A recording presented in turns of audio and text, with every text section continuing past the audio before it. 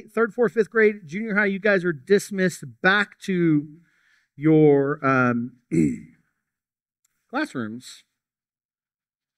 I'm looking at the um, I'm, I'm looking at your sermon guides, and uh, I'm excited about what God's given us. If you have your Bibles and you're going to follow along, we're going to be in a couple of different places. The first one that we're going to be in is Genesis 15. You can turn to that one. Uh, do we have any English teachers in the room? Anybody that teaches English? Got a couple? Okay. Uh, there's a there's a type of writing. I'm not sure if you're familiar with this. Um, it's the most annoying type of writing ever invented, and it's called stream of thought. Anybody ever hear that? Or am I the only like deep like book nerd that understands what that is? Okay, I'll share with you. Um, stream of thought basically it's exactly what it sounds like. Um, I think maybe a couple of hundred years ago, somebody that couldn't really write wanted to be a writer, and so he's like, "I'll just invent this new type of writing," and it's where you. Thank you. I thought that was funny too. I appreciate that. Um, this half didn't think it was funny, but you laughed enough for this half, so we'll call it good. Um, the stream of thought, basically, what it is, is you just sit down and, and you just write whatever comes to mind. I mean, it, you go, well, that just sounds like journaling or writing a diary, but it's not that as much because you could go from talking about uh, what a great uh, fisherman you are, and then you could jump into your thoughts on politics. Eh, there's no rhyme or reason. It's just literally um, a jumbled mess of thoughts on a page, bound, and then given a really catchy title and sold to unsuspecting people. Can you tell that I have a little bit of uh, that I've fallen prey to this tactic? Um, there's nothing more frustrating than a book that's like that because what I know about writing, and, and I'm not the world's best writer, um, but what I know is that writing needs to have parts, right? Every good story has a beginning, a hook, it catches you, it brings you in, it has a middle, right, where the, the story's built and it, it's explained and characters are developed and maybe a problem arises or an antagonist or a protagonist enters into the story. That was really cool English language for you people that don't understand it. All the English teachers are really impressed by what I'm saying right now. And then there's an ending, right? There's a conclusion where stuff, uh, problems uh, sometimes are resolved unless you're one of these writers that like to leave stuff hanging out or the cliffhanger. So then you got to buy the next book to see if that problem solved, and they keep you going and on and on and on and on and on. Stream of thought is not like that. It's just whatever you want. Well, what I know is we've been studying the story of Moses over the last year is that it has been one of the greatest stories ever told. And there are really three main parts to this story of the Exodus as we, as we close out uh, our, our season following Moses and the people of Israel. And I know that some of you are thinking, man, it feels like we missed a lot. Uh, and, and we, we intentionally, by design, didn't look at every verse of the story of Exodus because I do feel like it's important for, for you maybe to take a little bit of onus and ownership in, in, in understanding the full depth and nature and truth of the story. Uh, I, I, saw recently uh, uh, uh a little thing. Do you guys know what the number one question Jesus asked people? The number one question Jesus asked people is this Haven't you read? He, he's having conversation, and, and what he's doing is he's pointing them back to Scripture and he's laying down for them the foundational importance of reading and knowing Scripture. And so, as I give you like a very 10,000 foot view of the three main points of the story of Exodus, you have to understand that we didn't get to all of it. And if you want more of it, you've got to take this personal ownership to dive in and study the story even more.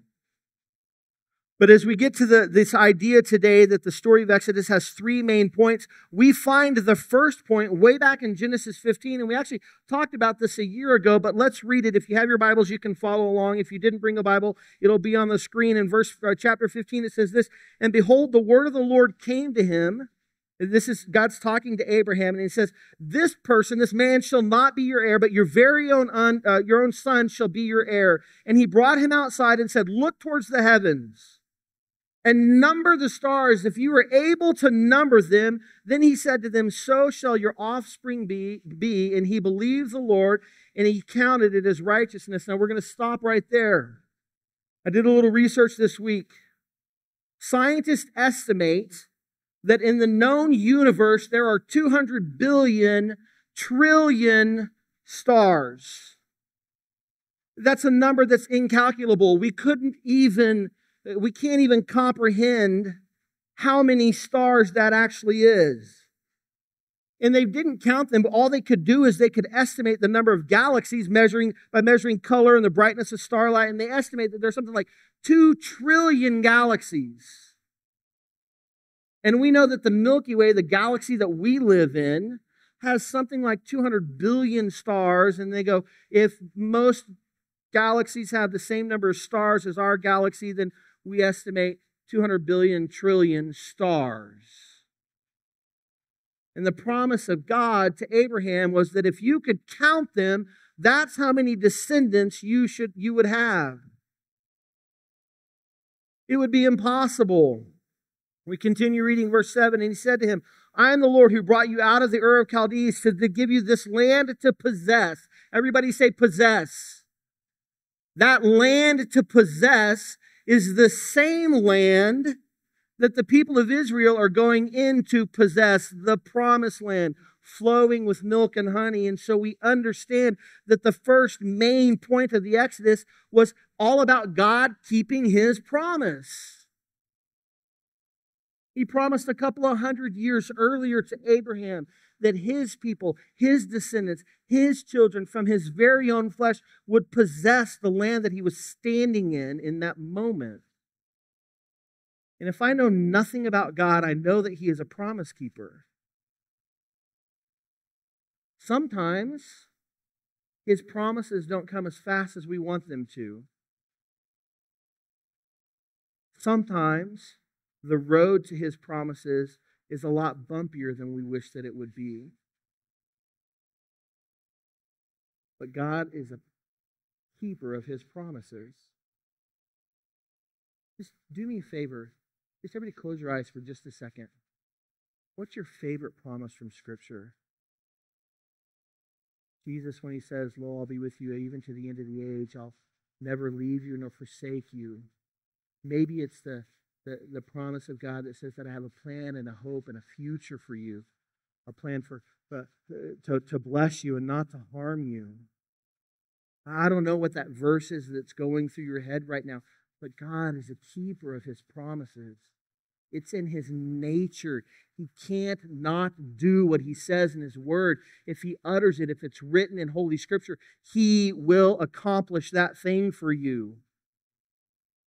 And so the first main point of, of the Exodus is God literally keeping his promise. The beginning of the Exodus story was in Genesis with the promise to Abraham Your people will possess this land. It's the opening chapter in the story that God is writing through Scripture. It's the hook, it's the thing that draws you in. It's the Bible's version of it was the best of times, it was the worst of time. Well, a couple of people that read. It's the Bible's version of the pilot of your favorite TV show. It's God introducing what He's going to do in and through this people that he has chosen. He's writing a story. And the story begins with a promise your people will possess this land. And then it takes a left hand turn. And the people start to wonder, is he ever going to show up? And then he shows up, and then it's 40 years of wandering back and forth and complaining and, and, and, and being uh, uh, uh, uh frustrated. And, and, and Moses uh, being frustrated with the people, and, and Aaron making mistakes, and Moses making mistakes. And all the while, God is writing a story.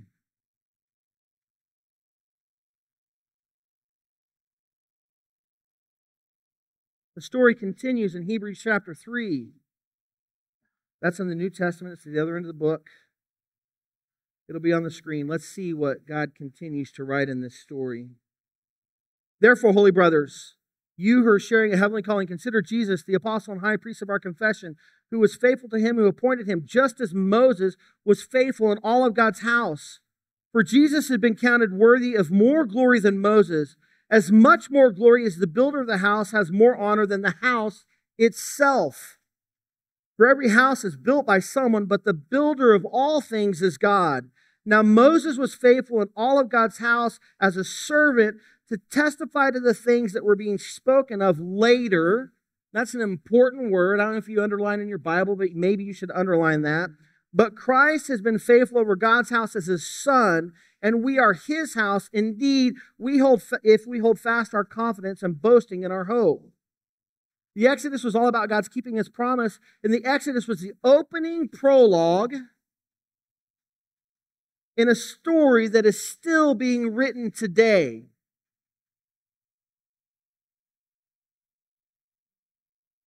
The story started in, in, in, Genesis with Abraham, but the Exodus is like chapter 2. It, it moves the story along. A, a new character is introduced. A new problem is introduced. We've got the, the promised land, and how are we going to go in, and how are we going to conquer it, and what is it going to look like? And often we read the story and we get to the conclusion uh, of Joshua where they've come in and they've taken the promised land through, through, through war. They've conquered the promised land, and the land is divided among all of the tribes of Israel. And we take a deep breath when we read that and we go, Yay, God, He did what He said He was going to do. And then we flip the page to the next story and we continue to read and we read that story and we go, Yay, God, He did what He said He was going to do. And then we read about the kings and the prophets, both minor and major. And we read every book of the Bible or every story in these seemingly um, individualistic style. Does that make sense? I'm going to make a confession. Can I confess something to you today? I'm embarrassed and ashamed that I'm going to confess this in front of you today.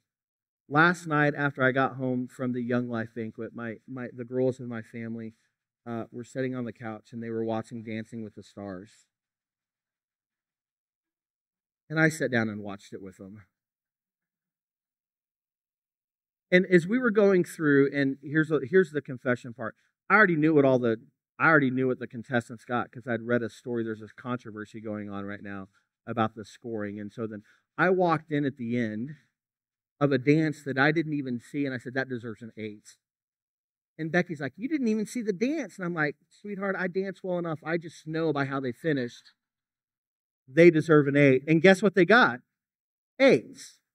Well, the next very dance that we watched, we were going through, and I had said something. I said it just seemed like a, a clump of movements that weren't really connected. And Savannah's like, I don't need your critique. You don't even watch the show. Been home for 24 hours and the sass is full back. I think sometimes we read scripture like I watch Dancing with the Stars.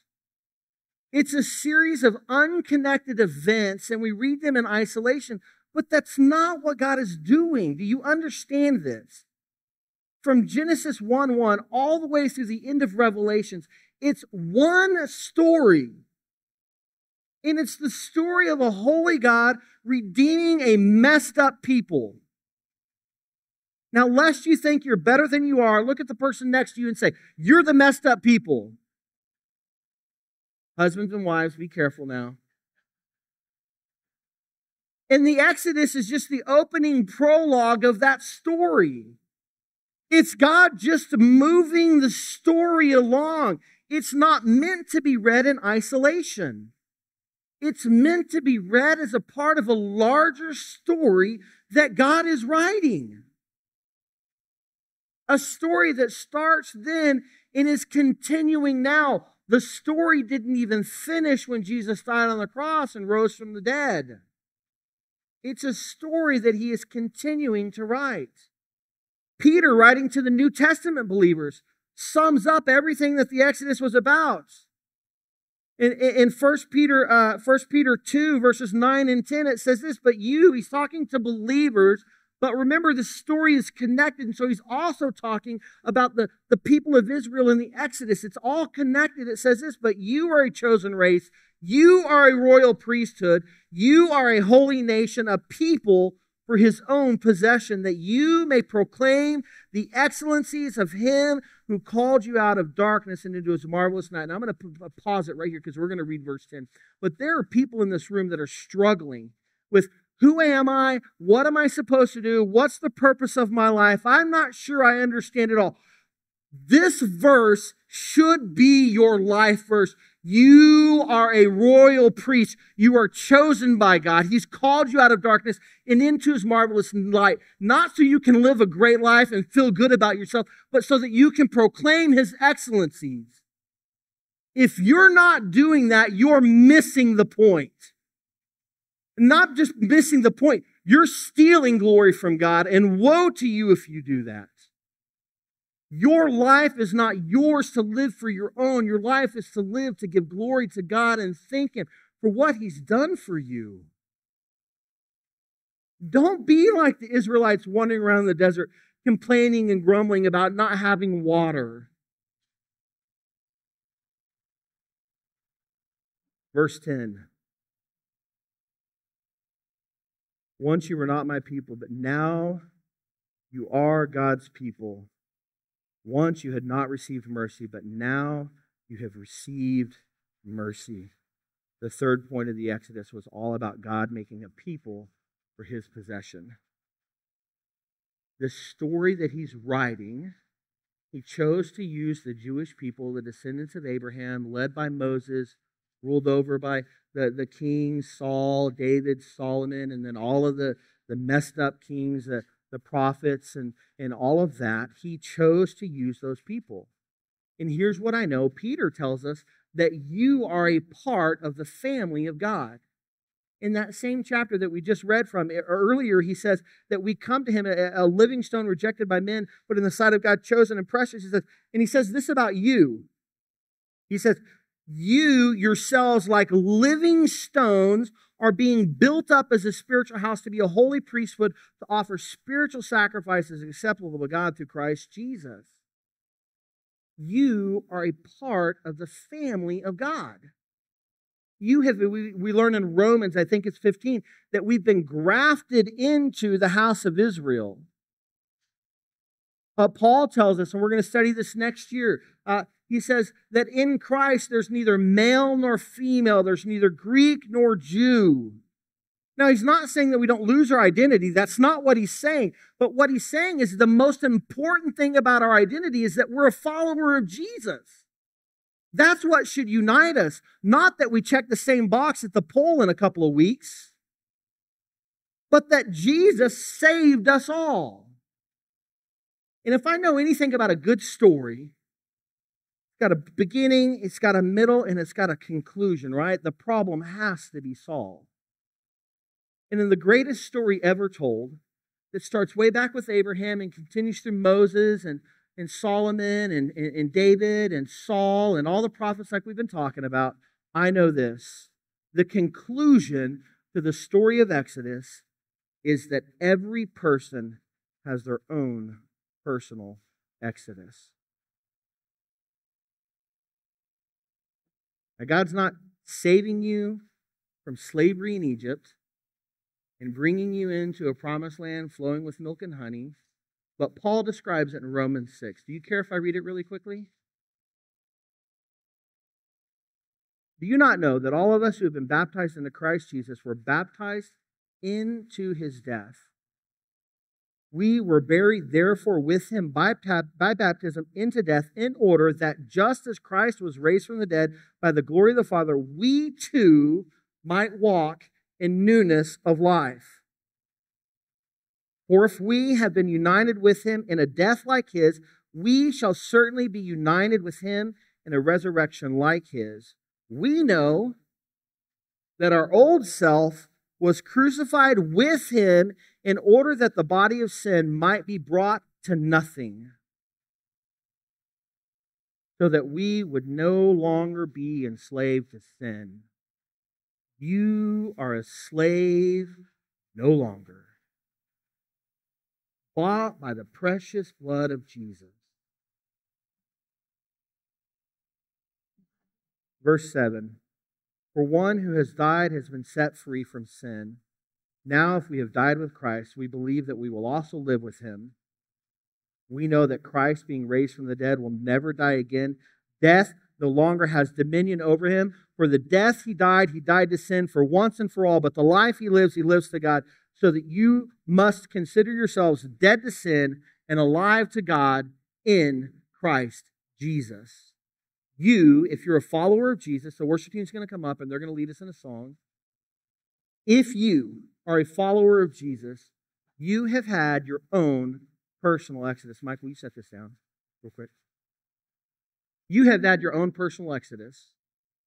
You have been set free from the sin that so easily entangled you before you knew Christ. You're a slave no longer. That's what Paul says in Romans 6. The problem is, some of you are still living like you're slaves. Put it down. Stop. Get rid of it. Don't let it grow. I saw a great quote this week. I can't remember who it's from, or I'd give credit where credit is due. But it says this it says, When sin springs up in your life, yank it out in that moment, lest you wait and delay and put it off, and that little sprout of sin grows into a mighty tree of sin in your life. How then could you remove that tree from your life? The pain is much greater. You have to cut it down. You have to rip the roots up. The ground is disturbed more. It hurts more people around you. It's so much easier to pluck it out when it's small in your life. Don't waste the exodus that you have from sin in your life just because you feel comfortable where you are. God's not calling you to comfort, He's calling you to holiness. We're going to turn out the lights and we're going to stand. And I don't know where you're at, but if you're in a place where you're living in comfort and you're not living in holiness, I would just invite you in this moment of worship that you would just surrender it to God. Just give it over to Him. Don't hold on to it any longer. Let's start the work of pulling that thing out of your life now.